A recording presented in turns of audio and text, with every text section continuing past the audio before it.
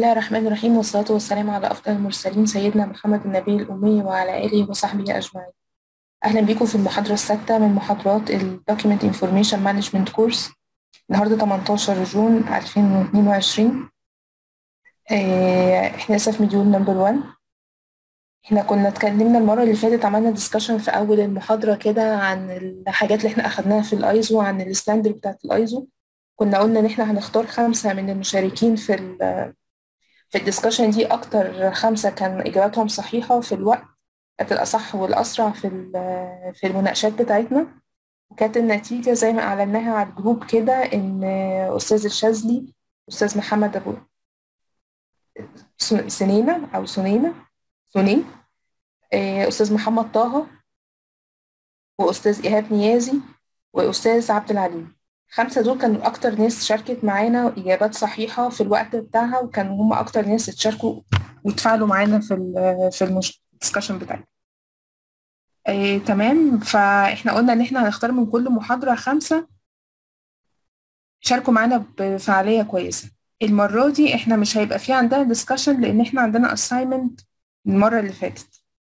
تمام؟ ال assignment كان عبارة عن إيه؟ ال assignment كان عبارة إن إحنا بنقول محتاجين internal process map for any document procedures تكون مشتملة لثلاث حاجات. ال process steps وال responsibilities وال time frame. إحنا ليه طلبنا ده من قبل ما قبل ما نشرحه أو قبل ما أعلمكم إزاي المفروض حاجة زي كده تتعمل. اولا لسببين أول حاجة أنا لو كنت شرحتها دايركت كده من غير ما حضرتك تبذل فيها أي مجهود أو تحاول تفكر إن أنت إزاي تعمل process map كانت هتت كانت ممكن تتنسي. إنما لو حضرتك فكرت إن أنت تعملها بإيدك وتغلط وأصلح لك وبعد كده تشوف الصح بتاعها بيتعمل إزاي أنت كده طالما عملتها بإيدك عمرك ما هتنساها في حياتك. دي إحنا ممكن نستفيد بيها as document controls في حاجتين. أول حاجة لما بيجي لك لما أنت بتبقى داخل شركة جديدة ومحتاج إن أنت آه تعمل آه تعمل system وتعمل procedures عندك في الشركة.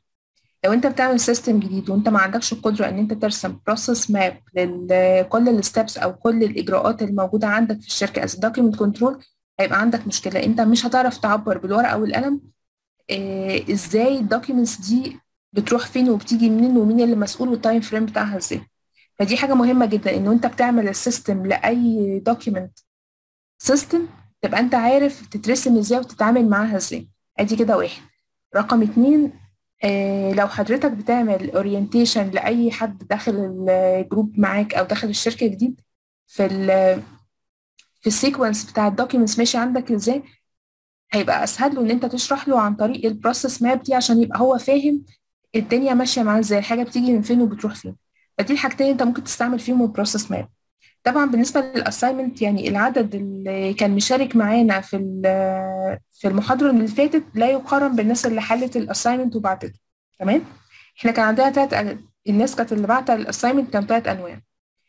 حد كان ما كانش فاهم ال assignment كويس وبعته وأنا بعت له تعديل واتفق معانا إن هو فهم خلاص التعديلات المطلوبة يعني هو كان فاهم إن هو كان بشكل معين بس أنا لما عدلته هو خلاص صلحه بالشكل المظبوط وبعته. في ناس كانت فاهمة ال process map من أولها من ساعة ما شرحناها في المحاضرة وبالتالي عملتها بطريقة صحيحة ودي خدت approved من أول مرة في ناس بعتت حاجات ملهاش أي علاقة بال process map لا إما هم جايبين document من في ال project عندهم أو إن هم جايبين inspection مثلا وراسمين عليه حاجة ملهاش علاقة بالموضوع تماما أو إن هم جايبين ورقة على اعتبار إن إحنا ممكن مش هنراجع ال assignment ده فهم مقدمين أي حاجة في ال assignment يعني. فيعني حاولوا يا جماعة تبذلوا معانا مجهود شوية في القصة دي إن إحنا بنبذل معاكم مجهود في في ال course إذا كنت أنا أو إذا كان الناس اللي قائمين على الأكاديمية. فإحنا بنحاول إن إحنا نخلي الدنيا سهلة ما بيننا. فحاول حضرتك كمان ما تضيعش وقتنا في إن أنا أفتح link وإن أنا أبتدي أراجع حاجة وفي الآخر ألاقي حضرتك باعت حاجة مالهاش علاقة بالموضوع على اعتبار إن أنت بس كده تبقى أنت مليت حاجة في ال assignment إحنا كل إيميل بيوصل لنا وكل حاجة بتترفع على ال على ال drive. لازم هنشوفها فابتداء من ال assignment اللي جاي لو لقينا حاجة not related للقصة دي أو حد كسل إن هو يكمل ال subject بتاع الموضوع أو باعت ورقة فاضية أو أي حاجة زي كده معلش إحنا آسفين هنمنعه بعد كده إحنا إن هو يكمل ال assignment معانا. يعني أنت مش عاوز تبعت ال assignment ما عنديش مشكلة ما تبعتهوش. بس ما تضيعش وقتنا في إن إحنا نحاول إن إحنا ندخله في ال link وننزل ال link وبعد كده نكتشف إن حضرتك بعت حاجة مالهاش علاقة بالموضوع. فيا ريت معلش نبقى مشكورين بس نلتزم بال assignment دي لأن دي هتفيدنا كتير جدا في الدرجات النهائية بتاعة الشهادة. لأن الشهادة زي ما أستاذ أحمد كان قايل لكم ال reference بتاعها مش هيبقى الحضور بس ال reference هيبقى الحضور وال assignment اللي بتتعمل during ال course والامتحان الأخير بتاع ال course. هيبقى فيه نسبة برضه منه. فإحنا نحاول بس نلتزم في القصة دي علشان أنت وأنت بتحل ده ده هيفيدك في حياتك العملية. الحاجة لما تعملها بإيدك. وإحنا نشوفها ونصلحها لحضرتك هيبقى أحسن بكتير ما أنت بتاخدها بتحفظها وعارف إن هي بتبقى بالشكل تمام؟ معلش دي بس كانت نقطة مهمة بس كنا محتاجين إن إحنا نتكلم فيها. طيب إحنا كان في بس كان في حاجة كنت بعتها لكم على ال group كده بنتكلم فيها إن في أي process map ليها شوية samples symbols كده بنتعامل بيها. أول حاجة العلامة دي بتبقى علامه ال start اللي هو الشكل البيضاوي ده ده بتبقى في أول علامة في البداية بتاعه ال process وفي نهايتها. تبقى دايما الشكل البيضاوي ده. الشكل المربع ده بيبقى instruction أو action أو process. تمام؟ الشكل البيضاوي ده بيدل عن إن إحنا إحنا هنا المفروض إن إحنا ناخد قرار ناخد decision. لا إما بيبقى ب yes بنكمل ال process لا إما بيبقى ب no وبنرجع إن إحنا نعمل feedback تاني نرجع لجزء من ال process تاني. تمام؟ هنبتدي دلوقتي نحاول إن إحنا آه نشوف بقى ال assignment كان بيتحل إزاي. بالظبط كده. طيب. إحنا هنا بنعمل بنحاول إن إحنا نوضح أو نشرح ال process بتاعة ال receiving documents procedures طيب. إحنا دلوقتي قلنا أول حاجة على الشمال هنا بنتكلم عن responsibilities المسؤول عن ال عن ال task دي أو الناس المشاركة في ال process دي. تمام؟ وعلى اليمين هنا عندنا ال time frame بتاخد وقت مننا قد إيه؟ أول حاجة بدأنا بال preparation التحضير لل documents التحضير بتاع ال documents ده بيبقى مع ال document control بتاع إحنا لو إحنا اعتبرنا نفسنا إن إحنا a consultant a DC of consultant فأنا بعتبر إن أنا بس ال process عندي بتبتدي من أول received submitted. ال preparation ده بيبقى عند ال contractor DC مش عندي أنا. ف once إن هو عمل لها preparation بيبتدي يبعتها لي فأنا ابتدي بقى إن أنا إيه هعمل الاجراءات بتاعتها. أول إجراء باخده إن أنا ببتدي أعمل عليه أول حاجة quality check quality check زي ما إحنا قلنا المحاضرة اللي فاتت إن إحنا بن check على ال date على ال sequence number على ال revision على ال related title على ال attachment وإذا كانت ال transmittal ده أو ال documents دي signed ولا لأ stamped ولا لأ وكمان بنراجع ال content بتاع ال documents دي. ال content بتاع ال documents لو هي تمام بنقول إن هي دي خلاص كده إن دي okay وبتبتدي تاخد ال step اللي بعدها. تمام؟ لو هي no بنرجع تاني. لو هي فيها أي مشكلة في كل الحاجات اللي إحنا اتكلمنا فيها دي بنبتدي إن إحنا نرجعها تاني لل contractor DC علشان يبتدي يعدل ال comments بتاعتنا وبعدين يبتدي يبعتها لنا تاني. هناخد برضو نفس ال process دي لحد ما نوصل وهي بقت okay once إن هي بتبقى خلاص بالنسبة لي okay هي كده خلاص. ببتدي إن أنا أختمها بختم ال receive ده عندي علشان أبتدي إن أنا آخد الإجراءات الداخلية اللي أنا هعملها.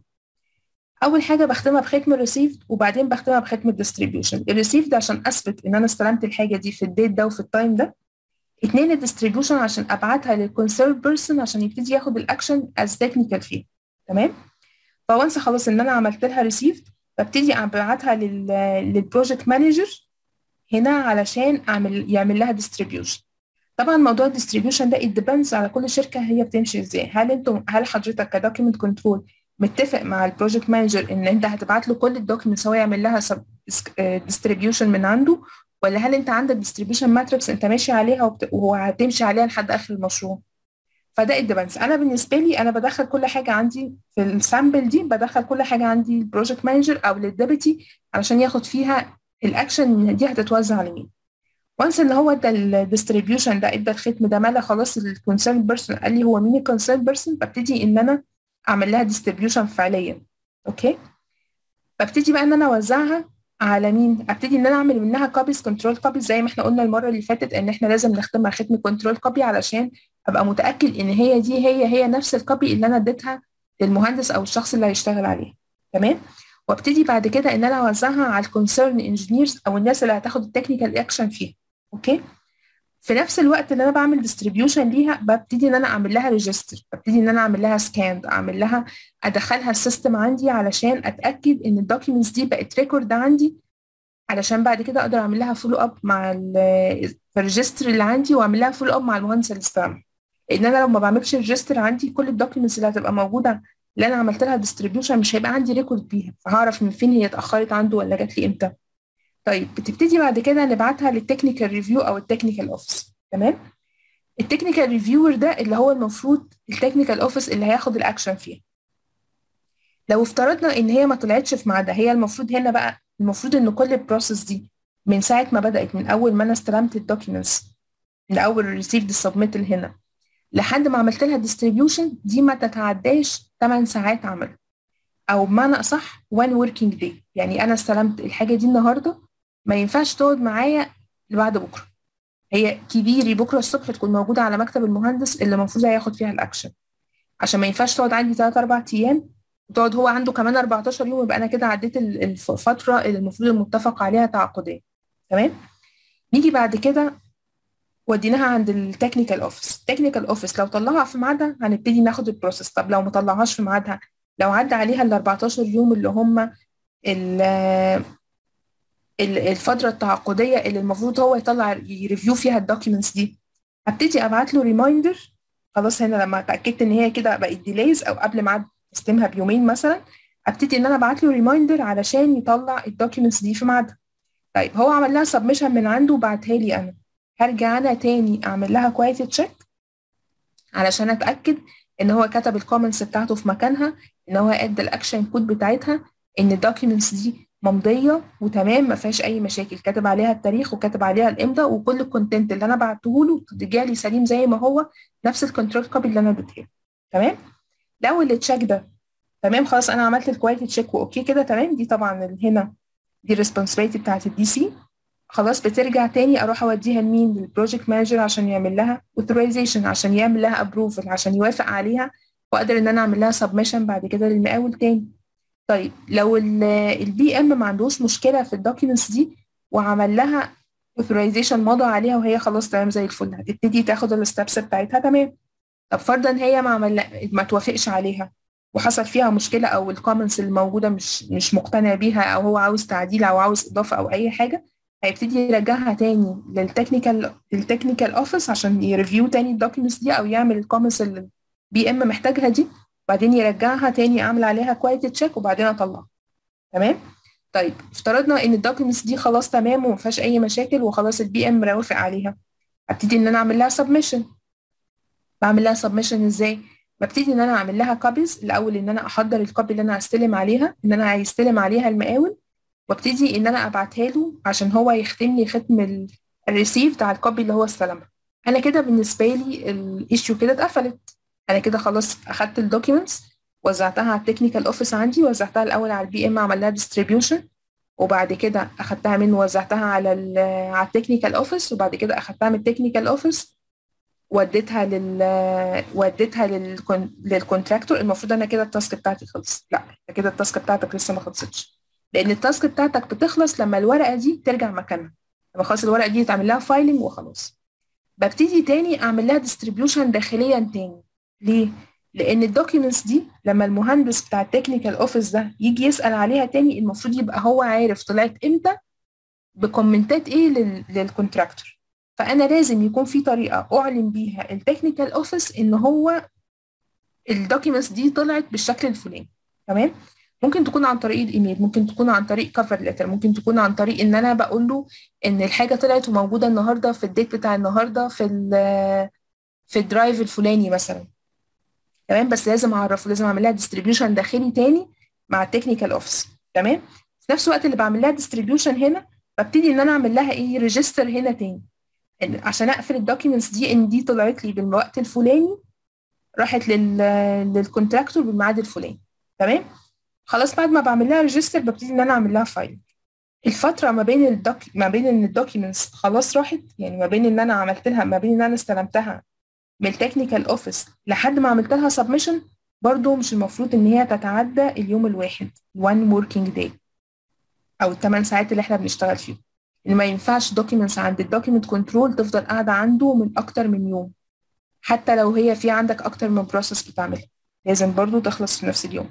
وأخيرا الديستريبيوشن والفايلنج الديستريبيوشن الانترنالي والفايلنج دي حاجة بتبقى راجعة ليك. أنت بتقدر تعمل filing daily أو بتقدر تعمل filing weekly سواء أحسن لك إن أنت تعمل filing day by day علشان ما يتكونش عليك حاجات كتير. بس بيجي عليك وقت أنت ما بتقدرش تعمل ده فممكن تأجله لحد آخر الأسبوع مثلا.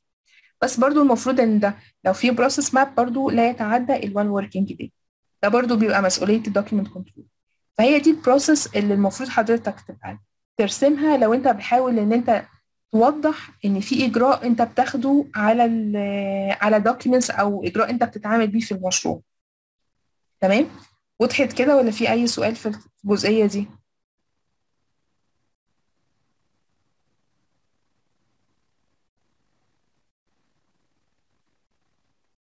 يا جماعة حد عنده أي سؤال في الجزئية دي؟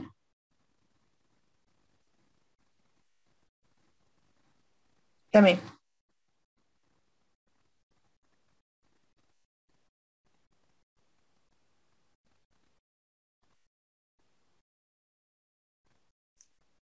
خلينا نرجع بقى تاني للمحاضرة بتاعتنا.